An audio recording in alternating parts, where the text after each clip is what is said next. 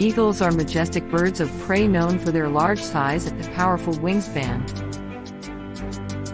They are found on every continent except Antarctica. They have incredible vision, some species capable of spotting prey from a distance of 2 miles. Their sharp eyesight aids them in hunting and navigating their surroundings. Eagles are skilled hunters and feed mainly on fish, small mammals, and birds. They have strong talons and a sharp beak, which they use to catch and tear apart their prey. These birds are known for their ability to soar at great heights.